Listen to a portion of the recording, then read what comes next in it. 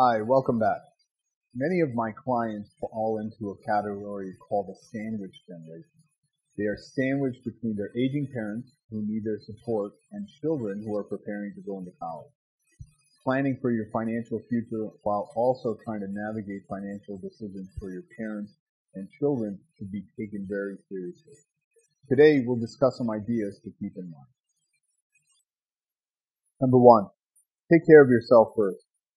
Anyone who has ever flown in an airplane has heard the instructions. In the result of a loss of cabin pressure, put on your own air mask before assisting others. That doesn't mean your safety is more important than your child flying with you. It means that if you pass out from a lack of oxygen, you won't be any help to anyone. It may feel unnatural, even selfish, but as a parent to put yourself before your child. But when it comes to financial planning, it's better for everyone to make yourself a priority. Number two, don't get stuck with your parents' medical bills. Sit down with your financial advisor and attorney to make sure that all your parents' assets are positioned properly so that they may maintain financial independence in the event that one or both of them fall ill. You may also want to consider long-term care insurance for your parents, even if you need to pay some or all of the premium. You'll be much better off paying an insurance premium than bankrupting yourself trying to cover what could be thousands of dollars in the event of your parents needing assisted living care.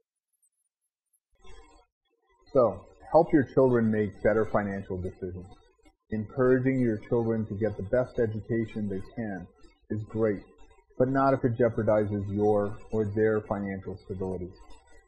Talking to your children about going to college and affordability, starting at a community college, attending a state university instead of a private college, and applying for scholarships can lift the financial burden off both you and your child.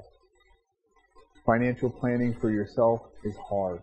Financial planning for three generations is even harder, but it's something that many in the sandwich generation are having to do.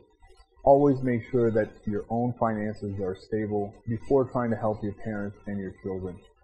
Thanks for joining us for another episode of Nostalgia TV, and we'll see you next week.